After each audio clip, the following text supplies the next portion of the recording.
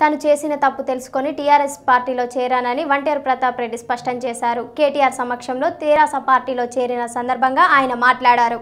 ఈ కార్యక్రమంలో ఆయన మాట్లాడుతూ మల్లన్న సాగర్ వేములగడ్ బాధితులు కూడా కారు గుర్తుకే ఓటు వేశారని వారి తరఫున ఉద్యమం చేసిన నేను తప్పు తెలుసుకున్నానని అందుకే అధికార పార్టీలో చేరుతున్నానని ప్రతాప్ రెడ్డి స్పష్టం చేశారు.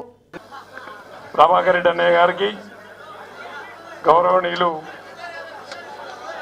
ఎమ్మెల్సీ భూపతి రెడ్డి అన్నయ్య గారికి గౌరవనీయులు ఎమ్మెల్యే జీవన్ రెడ్డి గారికి గౌరవనీయులు పెద్దలు శ్రీనివాస్ రెడ్డి అన్నయ్య గారికి గౌరవనీయులు పెద్దలు మా ఎలక్షన్ అన్నయ్య గారికి గౌరవనీయులు పెద్దలు.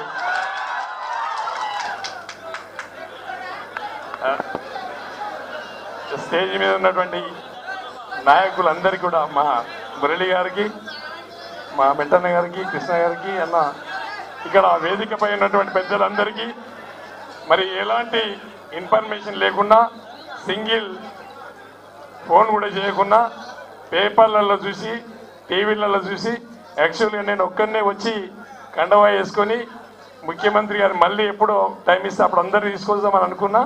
మరి పొద్దున రామన్న ఒక సింగిల్ ఫోన్ చేసి వచ్చే వాళ్ళని రమ్మని చెప్పాను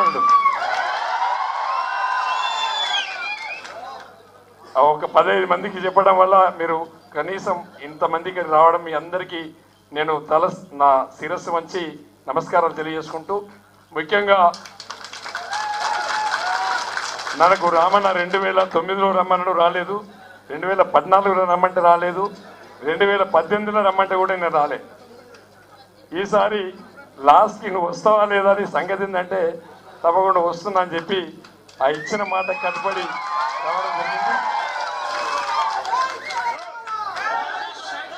తెలంగాణ రాష్ట్రాన్ని సాధించినటువంటి గౌరవనీయులు పెద్దరు కేసీ కేసీఆర్ గారు రెండవసారి కూడా భారీ మెజార్టీతోని దాదాపు ఎనభై ఎనిమిది స్థానాలు కైవసం చేసుకొని ముఖ్యమంత్రి గారు